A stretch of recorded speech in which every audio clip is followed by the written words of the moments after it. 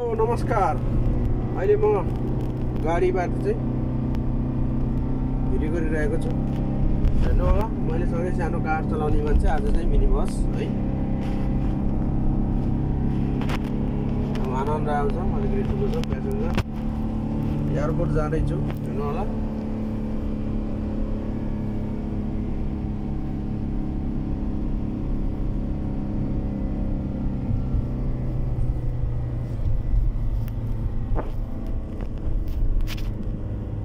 त्यही हो मेरो काम चाहिँ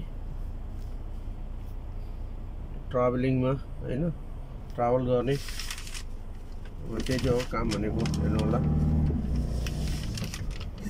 चलाउने गाडी चलाउने होइन?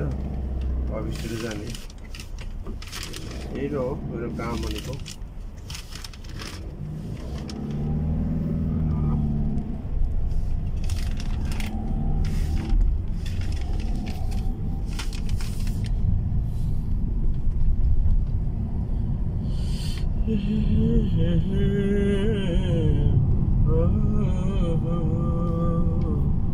विदेशको ठाउँमा गाडी चलाउँदै